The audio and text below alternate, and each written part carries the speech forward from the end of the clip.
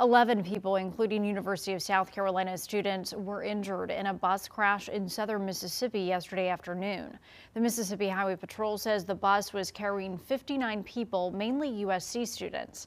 It crashed into the center concrete barrier. The Bay St. Louis police chief says the students belonged to a fraternity.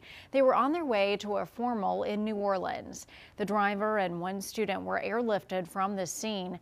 We're told both of them are in critical condition.